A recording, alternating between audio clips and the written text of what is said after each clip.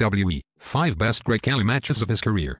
Assalamu alaikum wa rahmatullahi wa barakatuh. My name is Sohaib and you are watching Wrestling Fact. I was a fan of Great Khali in WWE. He was one of the better monster heels in the past decade, and he did his job as world champion in 2007. Did he put on classic matches weekly? No. Did he fly off the top rope? No.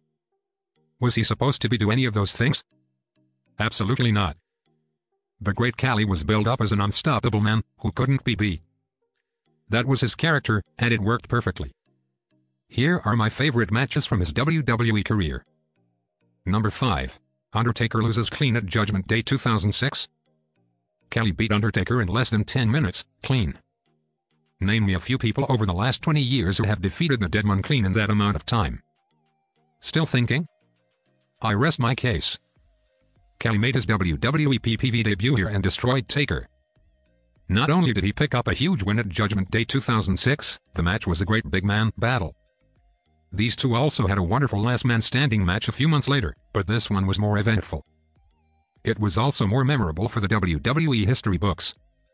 Number 4 Cena beats him at One Night Stand. This was a Falls Count Anywhere match, and it was a great main event to close WWE One Night Stand in 2007. The ending was the icing on the cake. There was no way John Cena was losing his WWE title, but Khali certainly gave him a run for his money. He more than lived up to his position on the card, and Cena delivered as usual. Great series of matches from these two. My hat goes off to both men. Number 3 WWE title match at SummerSlam 2008. This was a major match, against a major opponent. At a major event. Khali was going after the WWE title on this night, and the man he faced was Triple H. Again, there was no way Khali was going to win the gold, but he had a great outing.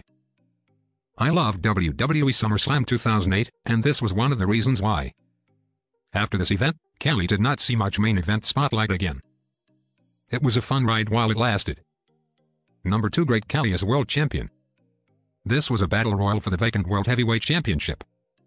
Edge had just given up the title earlier in the SmackDown episode, due to injury. A new champion needed to be crowed, and who did WWE go to? Batista, Finlay, Kane, no, no, and no. The Great Khali shocked the world and became champion.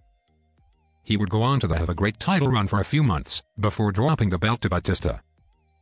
WWE needed a short-term title holder before getting it to Batista, and Khali was perfect in that role. Number 1. Khali beats Mysterio with ease. I wrote about this before, but I really do love this match.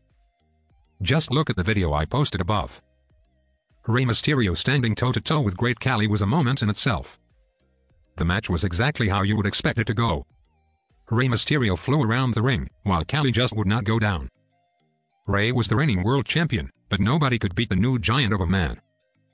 In the end, this match went about 5 minutes, and it summed up what could have been with the Great Khali during his WWE run. After dominating the company for a few years, he was turned face and into a comedy figure. Certainly not the role for the big man.